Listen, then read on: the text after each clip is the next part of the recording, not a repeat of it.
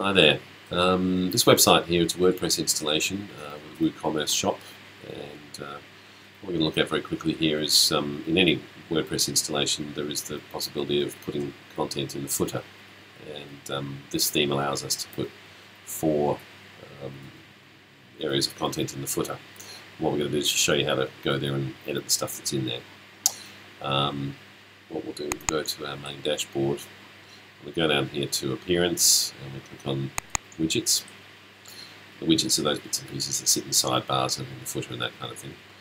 Um, we simply go to here. In the footer we've got four sidebars in the footer, uh, which we saw over here.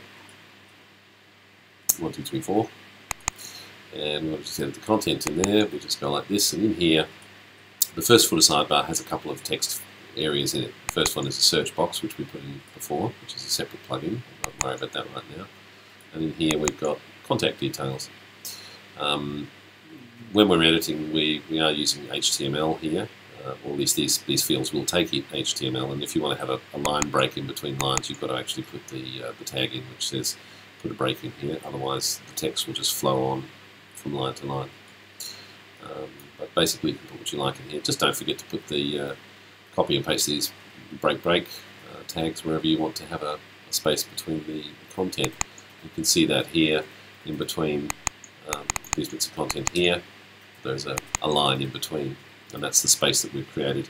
If we put a single break tag in there, those gaps, the, the, the gaps between these uh, lines won't appear.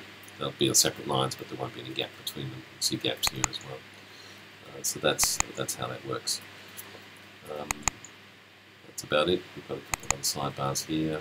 We can go in there. and We can also edit.